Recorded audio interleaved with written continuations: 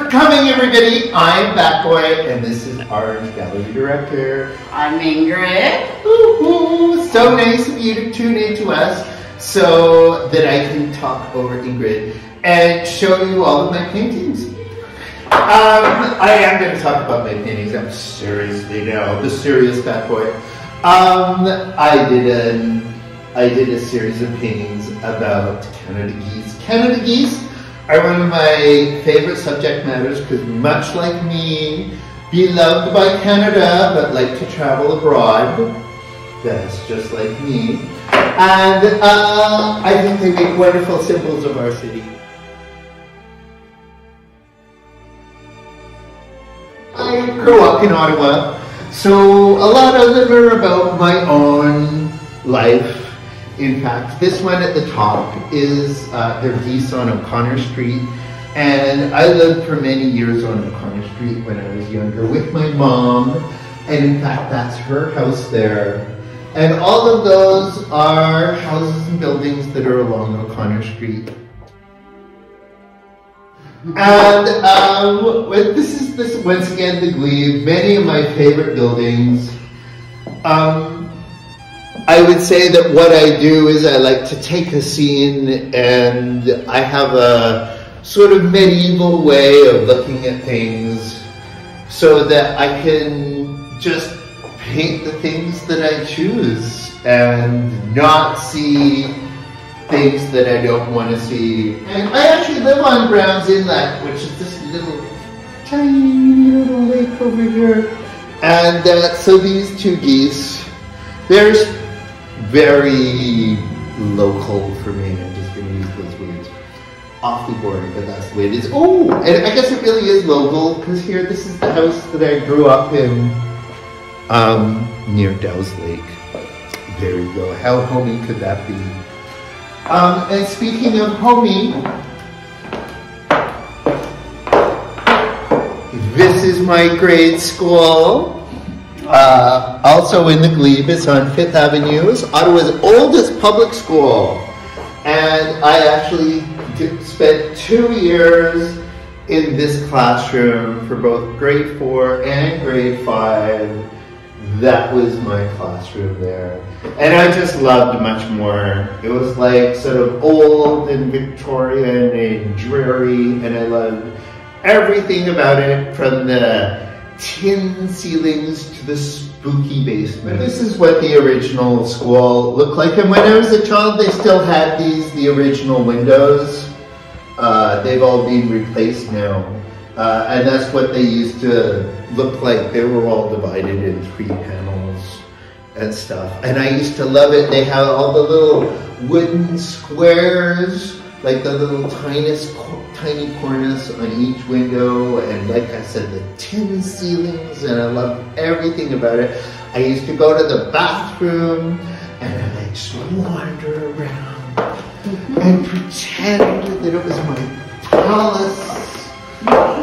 This is the corner store, once again, on O'Connor Street. I spent many years living near that corner store and have all sorts of nostalgia about it.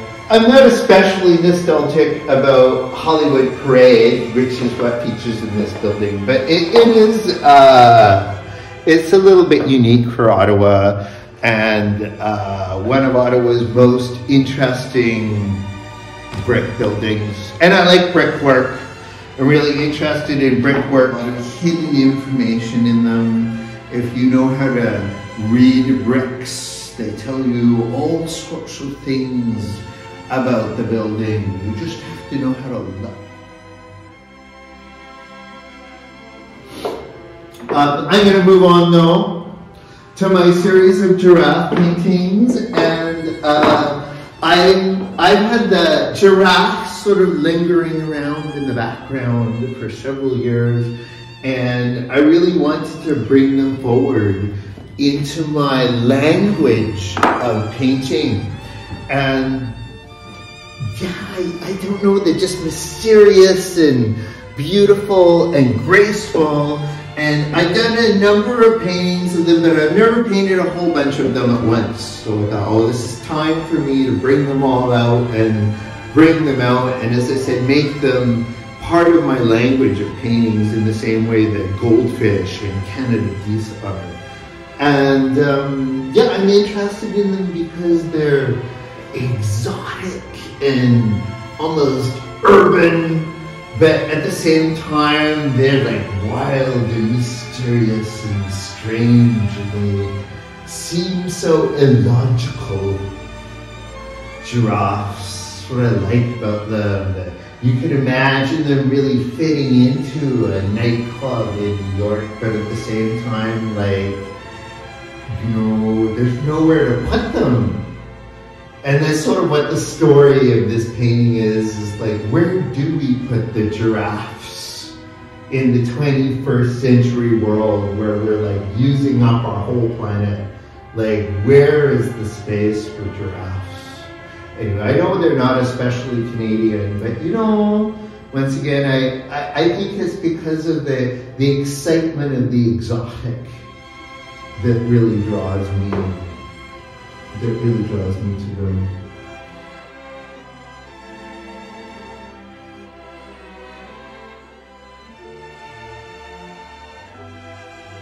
The last series of paintings are all about Ottawa and uh, particularly at night. I've always done a lot of paintings at night. Uh, I've always been interested in the night sky. And when I was a child, of course, we knew so, so little about the night sky, and now we know so much more. We know so much more that we just have more questions about it. And the sky has become this, has changed from being this blue thing full of stars, and it's become this it's become something else where we're questioning about, you know, like about other intelligence and life in it, and we're no longer seeing it as a dead cold space, but as a place that's like full of everything.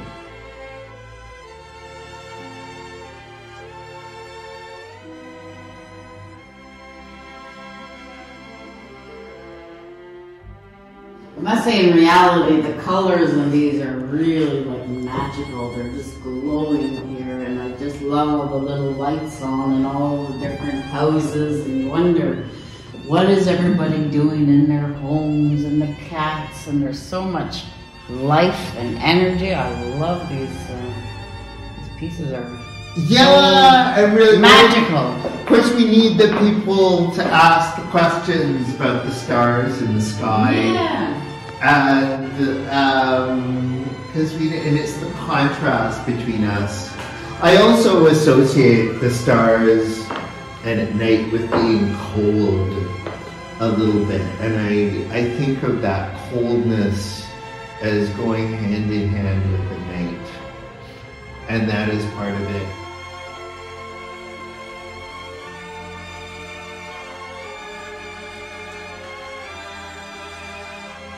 For my last three paintings, uh, they were inspired by Group of Seven painting, which uh, the Group of Seven painted all things Canadian. And uh, being from Ottawa, I wanted to do the institutions of Ottawa, but in a Canadian way. And so that's what I've tried to do. And just put these buildings in, yeah, putting them in Canada, but also into context in space. Once again, because I'm putting the night sky in there, because our new reality is that we don't live in the universe alone. My favorites in these are, uh, I painted these comets in the sky. Uh, a whole bunch of them have comets. Uh, but I also have a lot of them have little planets, sort of very, they're almost hidden in the sky. There's another one over here. And yeah, you know, it's just a surreal outlet for my energy after very carefully painting all this representational stuff is really nice for me to be able to just sort of free form create what I what I feel. And I really, you know, I really do really put my soul into every painting. Every painting has a little tiny piece of me in it that you could own.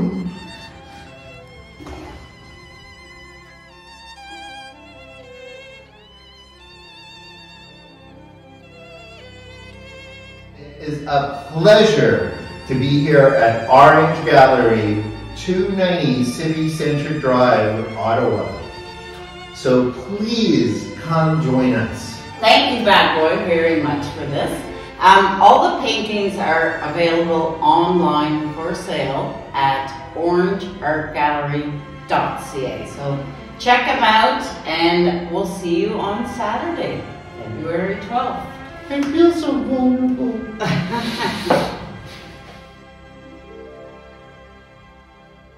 this Saturday, February 12th, 2022, from noon to 3 p.m., I will be here having tea. So I would absolutely love it if you could come here and join me, and I would gladly answer any questions you have about my painting.